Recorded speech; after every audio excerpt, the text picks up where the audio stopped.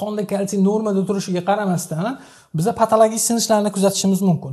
Patologik sinishlarni qanaqa e, tushunamiz? Masalan aytaylik ko'pchilik xalq orasida bor gap Э, bir qariya bitta zinani tashlab bosib yuborgan ekanlar ikkinchi zinaga qadam qo'yib yuborgan ekanlar oyoqlari sinib qolibdi yoki hech qanaqa jarohat olmabdilar deb bellari sinib qolibdi degan narsani kuzatishimiz mumkin.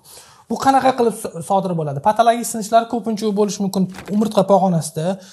Har xil suyaklarda kuzatilishi mumkin ya'ni inson tanasini ko'tarib yuruvchi suyaklarda ko'pincha umurtqa pog'onasini bel qismiga va ko'krak qismiga to'g'ri keladi va son suyagini bo'yinlariga to'g'ri keladi. Undan tashqari suyaklarda og'riq ko'pincha bemorlar aytishadi qayer og'riyapti deb so'ralganda tushunarsiz lekin oyoqlarimda yoki suyaklarimda zirqirab og'rishni his qilyapman deyishadi.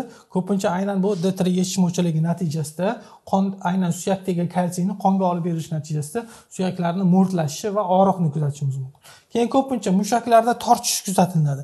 Ko'pincha kechasi boldir mushaklarda ba'zi mushaklarda tortish natijasida bemorlarni nima og'riq tufayli uyg'onib ketishini kuzatamiz. Aynan bu ham tanada kalsiyni nima pasayayotganini belgisi hisoblanadi.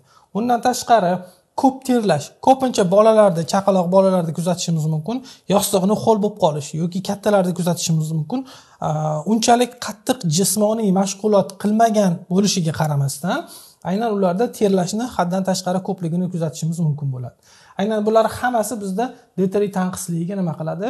D tanqisligidan dalolat beradi.